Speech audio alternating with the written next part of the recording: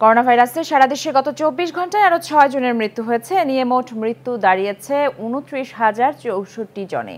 স্বাস্থ্য অধিদপ্তর থেকে পাঠানো করোনা বিষয়ক নিয়মিত সংবাদ বিজ্ঞপ্তি তথ্য অনুযায়ী একই সময় নতুন করে করোনা শনাক্ত হয়েছে ছশো জনের। এ পর্যন্ত মোট শনাক্ত রোগীর সংখ্যা দাঁড়িয়েছে উনিশ লাখ ছেচল্লিশ হাজার তিনশো উনসত্তর জনে। শনাক্তের হার তিন দশমিক দুই শূন্য শতাংশ।